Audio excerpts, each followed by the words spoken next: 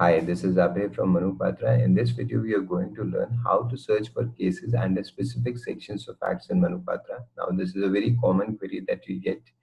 Sometimes you just have a particular section in mind and you want to search for the case laws on that particular section.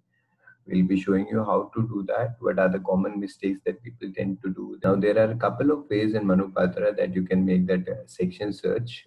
I'll be showing you all these. Let's go to the queries that we have planned for you. So these are the queries that we'll be making a search on. The first one is the Arbitration and Conciliation Act 1996, Section 7. Let's go to Manupatra. So under legal search, there is an option for section search in Manupatra. So whenever you have a particular section in mind, you want to find case laws on a particular section, this is your go-to option. You just have to select, uh, this is Indian Central. So we are looking for the Central Bare Act. Uh, now I can type in my respective Bare Act. So I've written arbitration and it's giving me options. So we are looking for Arbitration and Conciliation Act 1996. Make sure that you don't select any amendment. You have to select the main act. So Arbitration and Conciliation Act 1996. Now section and here I can put in the number. So section 7 and this is my search. Now it has fetched me all the results where arbitration section 7 is there. Now you can always refine it. So if you want to look for a particular keyword in this particular search, so it can always refine it with that word. Now let's come to our next query, which is Negotiable Instrument Act Section 138 and Section 178 of the Code of Criminal Procedure. So we will be using two acts. So in whichever judgments, both of these acts are coming together, we'll be looking for those case laws. Let's go to legal search. We'll be using the same options. Just there is this add more button here. So you can, you will be able to type two sections select Indian Central and NI Negotiable Instruments Act section 138 and the other one was CRPC section 178 now we'll make our search. Now it's giving me all the options where 178 and 138 both are coming together Let's come to a third act, which is Right to Fair Compensation and Transparency in Land Acquisition, Rehabilitation and Resettlement Act 2013, Section 24, subsection 2. Now, this part is very, very important. Whenever you have a section in mind and there is a subsection also. So, how do we do this? Go to legal search, select central, and right to fair you need to be absolutely sure of the spelling. So right to fair compensation and transparency, section 24, subsection 2, and here make your search. Okay, so these are all my relevant results for section 24, subsection 2, right of fair compensation and transparency act. Now let's move on to our fourth and the final query, which is Order 7 Rule 11 of Code of Civil Procedure. Now again, a very common query. We'll be going to legal search, uh, central, CPC. Now, if you realize this is a drop down, so you can select order from here.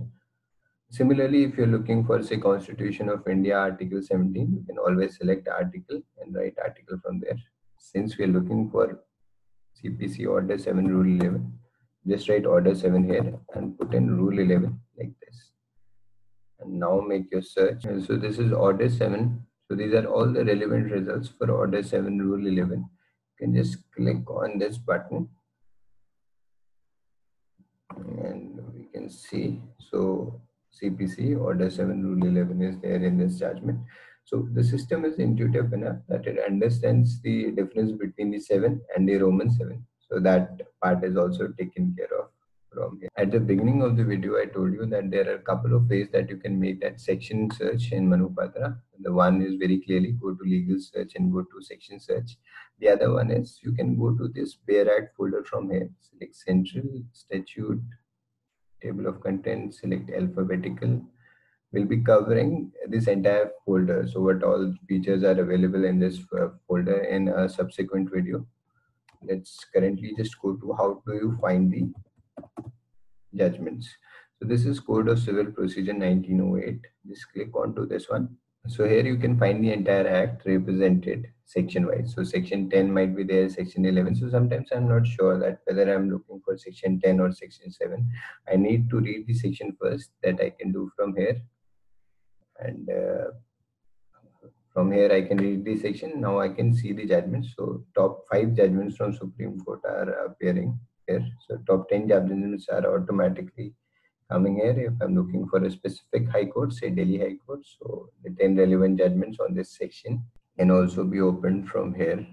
There's another option that if you just click onto this blue button from here, it will give me relevant results for sections 10 of the CPC.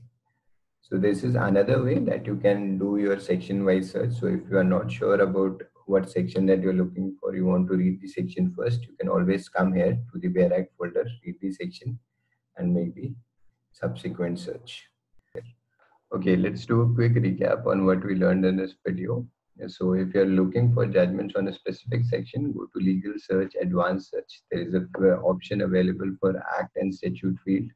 So you can use that to find the relevant judgments. Uh, you have to be absolutely sure that you have pinned on to the main or the parent act and not an amendment or the repeal act. So make sure that you have got the year of the act right.